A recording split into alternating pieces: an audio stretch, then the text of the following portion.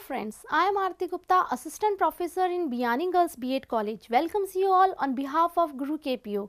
Today I am going to deliver my lecture on anatomy of dicot leaf. You can see the structure of dicot leaf. Now this dicot leaf it shows three main parts. First is epidermis, second is mesophyll and third is vascular bundle. Now first we talk about epidermis. Epidermis it covers both upper and lower surface of the leaf. The upper epidermis is also known as adaxial epidermis and the lower epidermis is known as abaxial epidermis. The upper and lower epidermis there are some difference between upper and lower epidermis. This upper epidermis it is covered by a thick cuticle and lower epidermis it bears more stomata than the upper epidermis. Now next to epidermis there is both of the epidermis upper and lower there is uh, mesophyll tissue is present in between upper and lower epidermis. This mesophyll tissue is divided into two type of cells. First is palisade parenchyma and second is spongy parenchyma. First we talk about palisade parenchyma.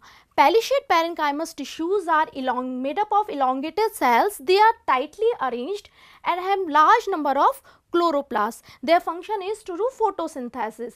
Now, this palisade parenchyma, it lies just beneath the upper epidermis. Now, next to palisade parenchyma, there is spongy parenchyma present. This spongy parenchyma is present towards the lower epidermis. It has large intercellular spaces.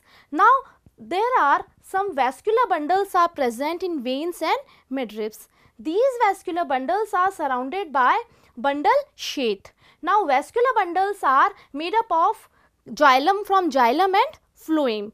These are conjoint collateral conjoint collateral and closed type of vascular bundle.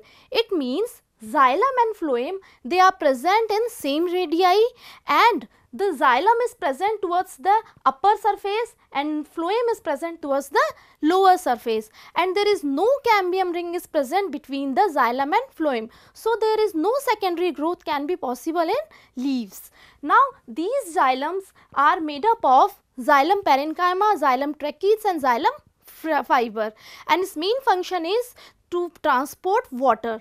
Now, next is phloem. Phloem is made up of companion cells uh, sieve cells and phloem parenchyma and its main function is to transport food. Now you can see some tissues upper and lower surface of large vascular bundle. These tissues are made up of parenchyma and they are said to be the extension of bundle sheath. So, this is all about the structure of anatomy of dicot leaf.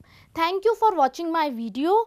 Please subscribe, like and com comment our YouTube channel www.gurukpo.com.